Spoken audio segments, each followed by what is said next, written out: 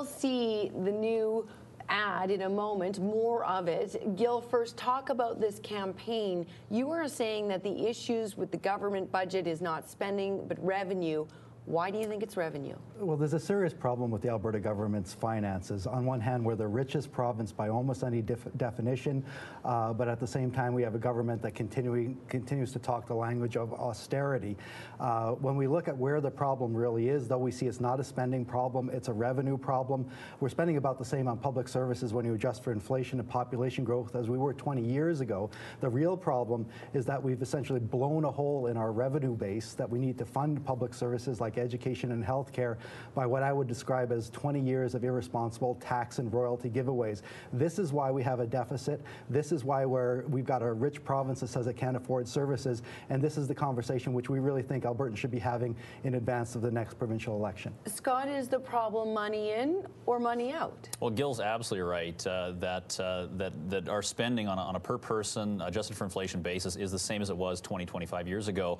But let's think back 20, 25 years ago under the Getty government, we were running massive deficits. So uh, today we are running well, today we're running massive deficits. So I mean, yeah, you're absolutely right. When when you spend to the same level that you did back in the Getty government, you're going to run deficits, and that's why we're running deficits. We have an average revenue stream as, as, as compared to other provinces. We're not the, we're not on the low end. We're not on the high end. We have about a very average revenue stream. But, but when it comes to spending, sure. But when it comes to spending, though, we're but when it comes to revenue, though, uh, we're we're average. But when it comes to spending, we're at the top of the list. So See, when, I disagree when you're with that. You're fundamentally wrong on that. No, I'm point. not. No, yeah. you, when you talk about when you talk about let's let Frank weigh in. Frank, who's right? It, no, it, this is a spending problem. This is not a revenue problem. This, this government is addicted to spending. If you look at the pattern all, through all of these oil cycles, the ups and downs, every time oil and gas go up, revenue goes up, and spending ramps up in touch with it. And then when the bus comes, and it always comes, they leave spending up there and they run these deficits. And then they sit around and they wait for the next boom to sort of lift them into another balanced budget. And then they don't cut spending, and then we go down again, and we run another deficit. and that's exactly what yeah. we're doing right now, is we're running it everywhere. We're waiting for revenue to catch up with us instead of doing the right thing, and the right thing is to cut spending. So the debate continues. What's new is a video that will reach the internet Monday. We've got it tonight. You'll see this on a betterwayalberta.ca and here right now. Charging me next to nothing in taxes and royalties to dig your oil really helped out. And your province's government's underfunding of healthcare and education, so I could make even more millions. thank you, my dear, for the ice cream. And thank you, Alberta, for everything else. Wow. Scott, what do you think? I mean, it's it's a good ad. It's an amusing ad. Um, amusing you know, or it, real? Well, amusing. I think it's amusing. I mean, I think that uh, the the idea that uh, that that the benefits that we've had here with our good economy, the low taxes, uh, the current royalty regime we have, the, the idea that it's only benefiting some guy with gold bars on his desk is, is hilarious. Country. I mean, it's hilarious. I mean, I think that we're the envy of, of almost every other province. I think a lot of Gil's supporters, a lot of his workers uh, have had very good paying jobs and, and have had very low unemployment rates in this province due to the to the low tax regime that we've had in this province and, and the encouragement we've, we've given businesses to uh, set up here. So well, let's get, you know, let's it's, it's very good. With, with, all due respect, Scott, let's get something straight. The reason that our economy has grown is not because our, of our low tax rates or our royalty rates. It's because we have oil. So uh, oil companies are lining up to exploit the resource that the Alberta public owns, and it's because of the oil that here. It's not because of the low but tax rate. But who would you have and, exploit but, it then? But, I don't understand. Listen, Frank. Listen, Frank. First, I got to take take issue with something that you said that during economic wait, boom wait times and no, the, the, during economic boom times, you said that spending You're not running up. the show here, yeah, Frank, uh, Frank. Look, Frank. Listen, you said you something that needs first. it needs. No, actually, you didn't finish asking a question because I tried to ask you Frank, one. Let, Frank, go ahead for one moment. Look, I don't understand from your perspective. What do you want us to do? You want us to leave the oil in the ground, or no, do you want the government all. to run it? What What are oil companies doing that's wrong right now? I don't well, understand listen, that. Frank, they're the, taking the resource out of the ground. They're meeting a demand in the world, and they're selling the oil. What's wrong with that? We're the, benefiting from it as Albertans. We've got jobs, as Scott said. Frank, Frank, the, problem, the problem is not development of our resources. It's a question of what happens to the wealth that's generated as a result of the development of those resources. And what we've seen over the last 20 years is a dramatic expansion of Alberta's economic pie, which is good news for everyone. But a smaller and smaller share of that pie is being made available to fund the public services that Albertans value and, frankly, which we need as a foundation to build a more prosperous future. And, and this is one of the one of the big questions that I think people need to be asking, especially when we're talking about the development of a resource that we own collectively. Where is the wealth going? Right now, if you look over the last 20 years, almost all of the wealth that was created in this province, it hasn't gone to, gone to public service because Oh, by, please. by $10 by- billion dollars this okay, year. Well, 10 listen, billion you said dollars this year. yourself that on a per person basis, adjusted for inflation, we're spending exactly the same Bill, we let's let were Scott as pick up 20 on years that. We sure are. We sure are. The same when, when we were running massive deficits under Getty. We're getting $10 billion this year in, in royalty revenue. It's averaged about $9.5 billion. A lot of other provinces don't have that, and they do have natural resources. Quebec has shale gas they won't touch. Saskatchewan, for many years, had have oil sands, have oil that they wouldn't touch. Hmm. I mean, the policies that you're suggesting are the same that Saskatchewan government implemented through the 1990s, and people moved to Alberta because of that. They Okay, well, wanna live let's there find anymore. out a little bit more uh, as well what Frank has to say in a moment. Can How would yes. raising taxes and royalties really impact Alberta's energy sector? Could we tick it up a little bit? Would our economic the key- engine die? this One moment, key here. Frank. We're going to ask what viewers think. You tell us. Are Albertans getting their share of resource riches? Follow the contact links on albertaprimetime.com. And we're back with our panel, including Frank, in a moment.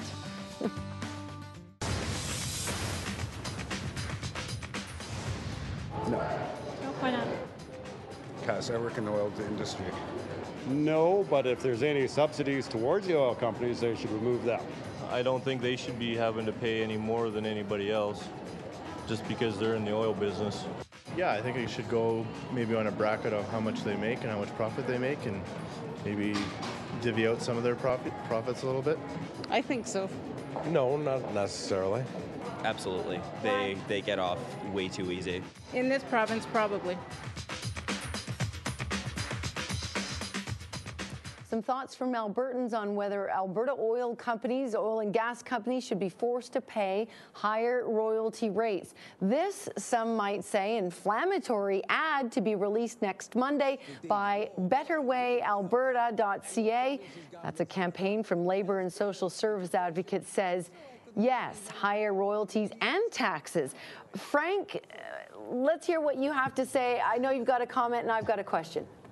Well, the point is that raising taxes is really something that will cripple any economy, and it'll cripple the Alberta economy the same as any other economy.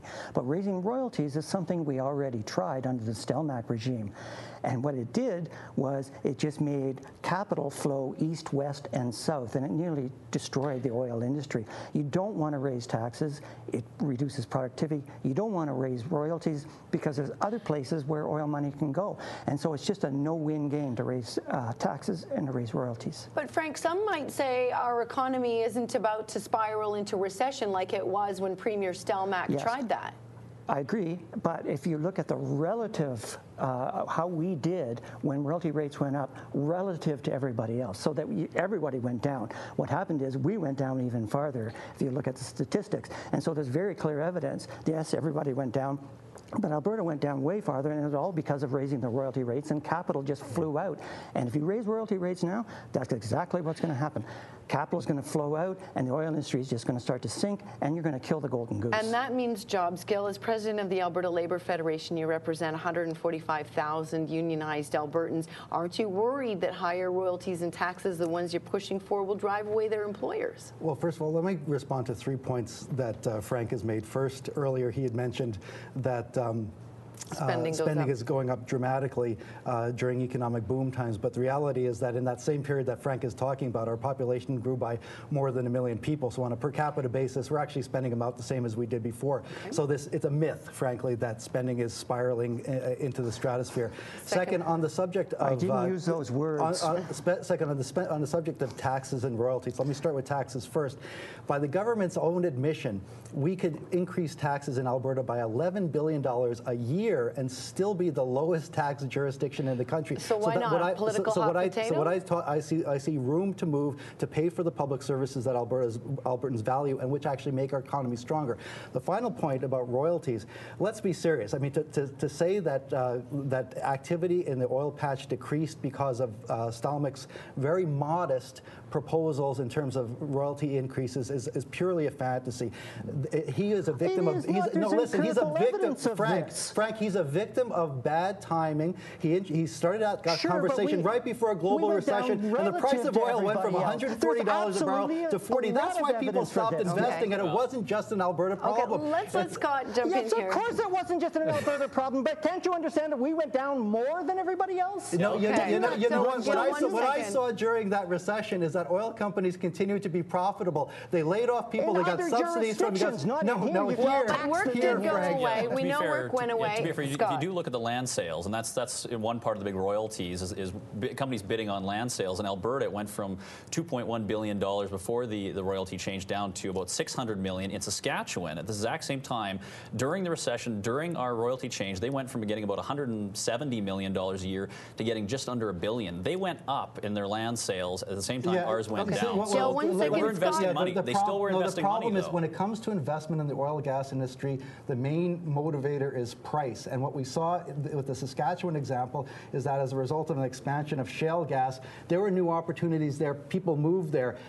The- When They the, went when back the down for after, when the price for oil and and, and They went back down after, and- Gil, I after need they to fixed move the on. royalties. Listen, as Here. long as the Gil, price I need is to move high, on. Scott, let me ask you here in this. Are you Alberta, period. concerned, Scott, about the idea behind uh, betterwayalberta.ca? Are you concerned about complicating taxes more than they already are? We hear about government efforts to cut red tape. Yeah, no, I mean the idea that they, they want to they want to move back to a, a multi-tiered system for, for taxes versus our single rate that we have right now in, in this province. Um, I mean, right now, federally, our, our tax code is almost 3,000 pages long. It started off at 11 pages long. Uh, I don't think a lot of people are clamoring to have more complexity and more confusion in their, in their taxes. And the reality is, uh, his goal there is, is to shift more of the taxes to, to wealthier people. But the reality is, right now in Alberta, the top 10% of wage earners pay 57% of all the taxes. Federally, where they have a, a multi-tiered system, the top 10% uh, wage earners pay 58% of the taxes. So in reality, changing to a system isn't going to make a very little change overall to our revenue, very little change to who's actually paying Is the taxes, pers- but it will really complicate Is our it tax personal tax or think- corporate tax you're I- proposing to raise? Both, but I, I, I think that you know uh, people like Scott focus on this question of simplicity, but I think for most Albertans, uh, the mo- more important thing is fairness. And what we've got is a flat tax system for high-income earners that has disproportionately uh, benefited people So who the are making high. So, so there, if, if there's an Alberta tax advantage, it's a tax advantage only for the rich. People earning middle incomes in Okay. Alberta actually pay more in taxes than in other jurisdictions in More this country. income let me, taxes, let me not let, in taxes, uh, more let in me let Frank taxes. jump in here on this one. Frank? Well, I don't see any. I, I think simplicity is a very good argument. I, I don't see any problem with the way uh, the system is running right now. What Gil is suggesting is that we want uh, some kind of a really progressive tax, and I don't see the point here in this. So that progressive tax would be as your income goes up, not only do you pay more tax, you pay a higher rate. And that just discourages all kinds of incentives. What we really want to make an economy run well is we want to make taxes overall lower right across the board. This would be really good for an economy. So if you're going to do that, then what you want to do is you also want to reduce spending. And a lot of people like me believe that the implied size of government from those kinds of changes will make an economy function better.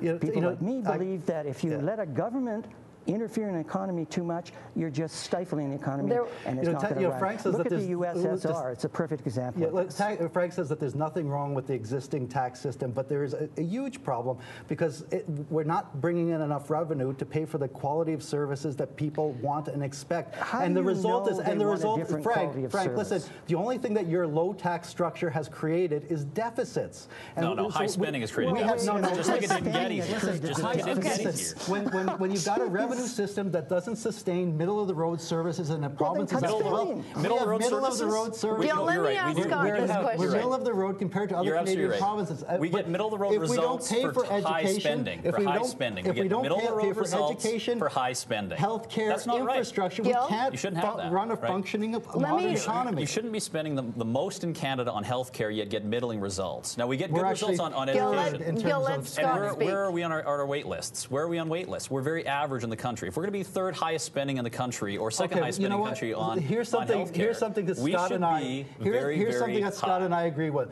We're average. We're middle of the road in terms For of other results. provinces, but For our results. economy is 70% bigger on a per Okay. capita basis. So why is it that the wealthiest province in the country can no longer afford to pay for middle of the road services? That's the question that Albertans should be asking. The cupboard Okay. is bare. Our, our politicians keep saying the cupboard is bare, but it's because they've made it bare by, By giving overspending. by giving By away, overspending, giving Gil. away, giving tax Frank, bill and final word to you tonight. Overspending. I, I agree with Scott. It, this is, Of a, course this he is a spending problem, not a revenue problem at The all. The numbers and don't support really that, need to Frank. ramp down spending. You can find out more at betterwayalberta.ca. In the meantime, thank you, gentlemen, for your insights and opinions tonight.